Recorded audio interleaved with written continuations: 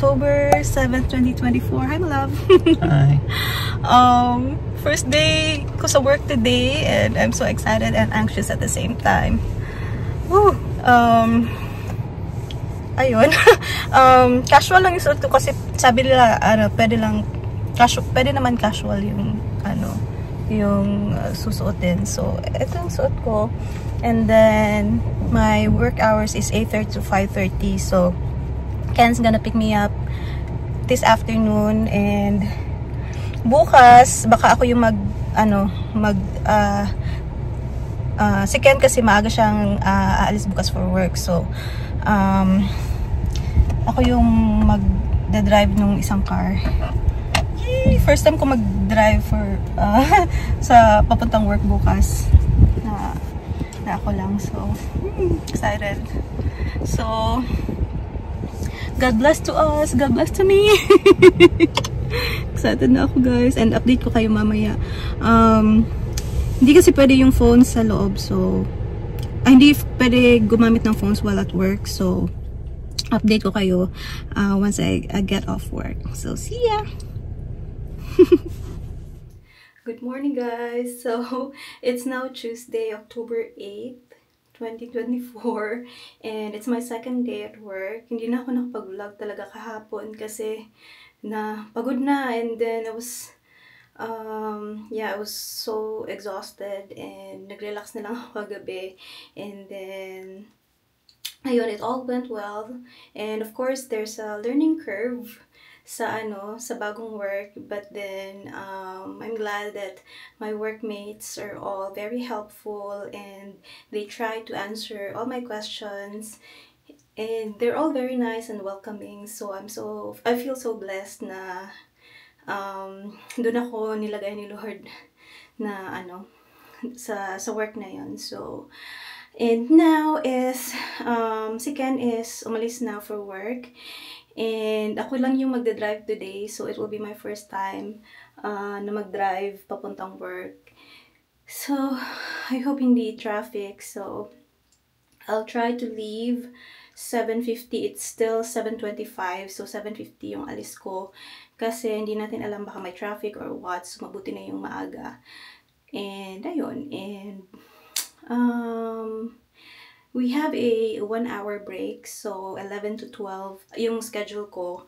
And I was so surprised kasi um, maaga kasi ako natapos mag lunch so I think around 11.40 tapos na ako mag lunch and then magka-clock in na sana ako. But then they told me to um, consume my lunch break. So dapat um, one hour talaga. So, ang ginawa ko is, nag-ano na lang, nag, nag-cellphone, nag-Facebook, uh, tapos, ayun, nag-ano na lang, uh, hinintay ko na lang yung time.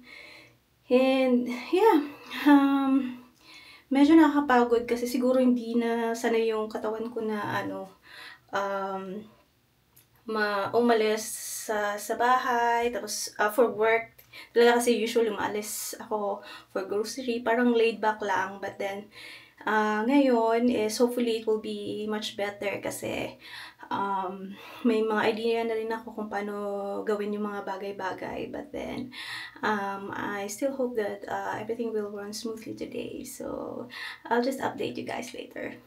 See ya! Hi guys! Happy Wednesday, October 9th, 2024. It's my third day at work and um, so far so good guys. Um, yesterday um, was better than the first day kasi syempre um, nag-a-adjust but still adjusting but then mas uh, nafafamiliarize ko na yung routine ng work.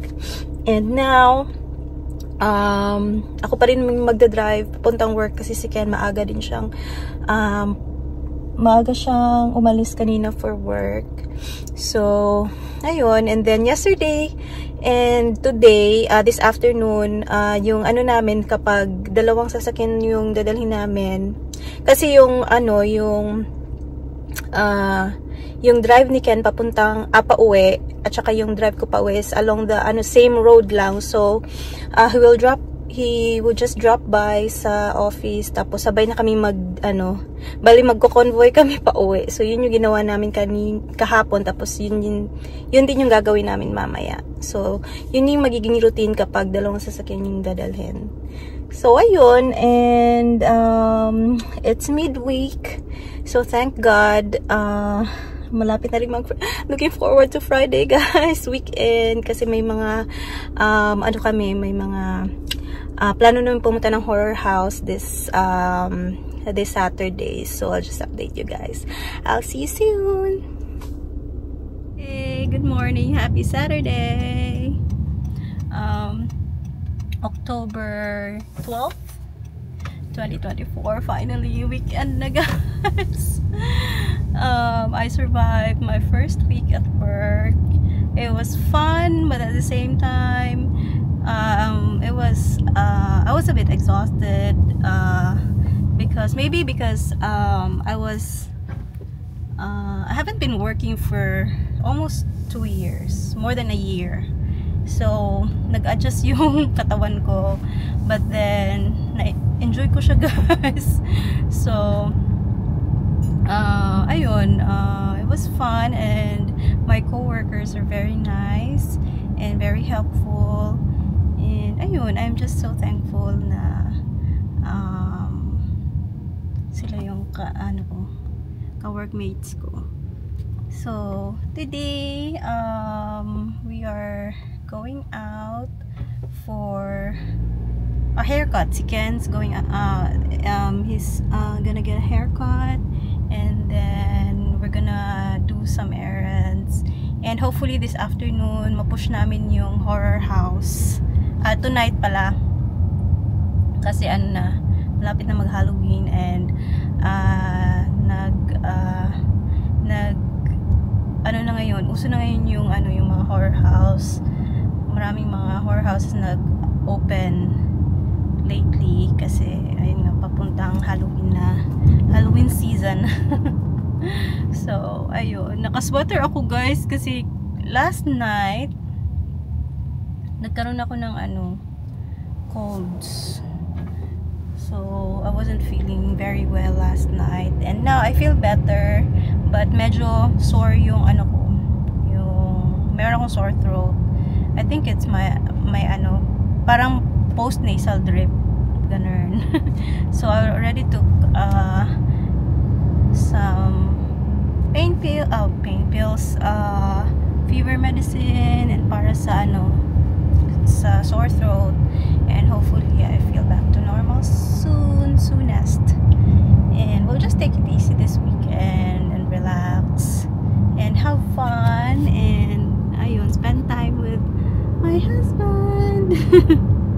So, ayun lang guys. I'll update you.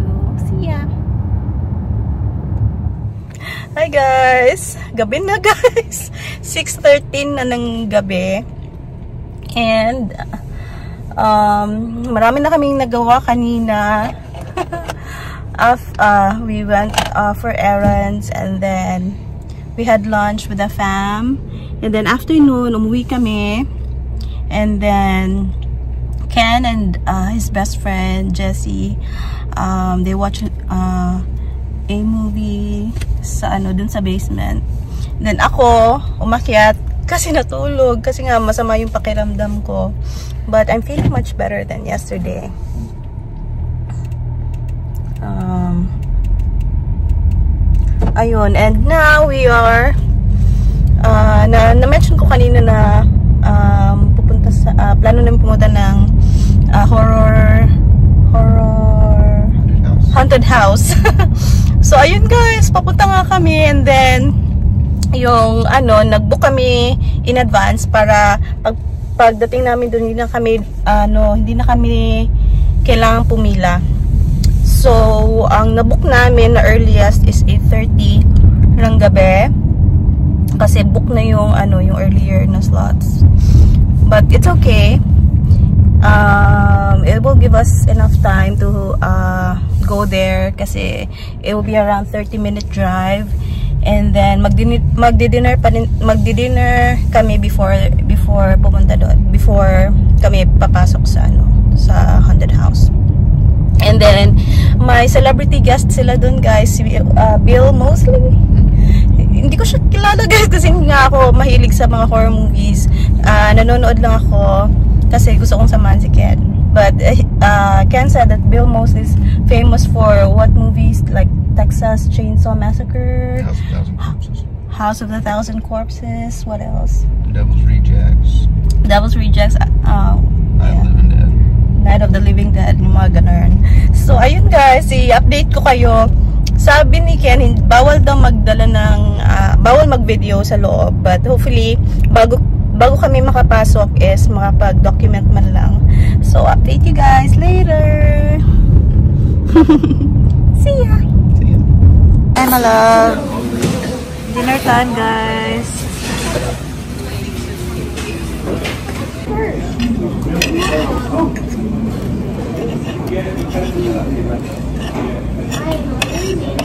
You can eat this tomorrow for lunch or dinner.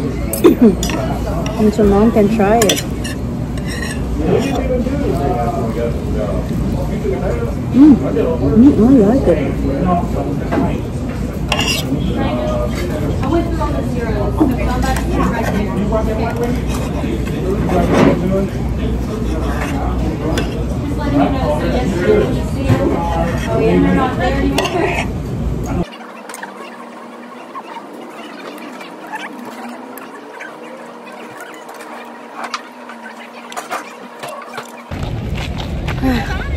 Dito na kami. What time is it, my love? It's, it's 8.21. 8.30 yung nabook namin. so, may hinihingal ako kasi malayo yung ano, pinarkingan namin. But we're almost here. So,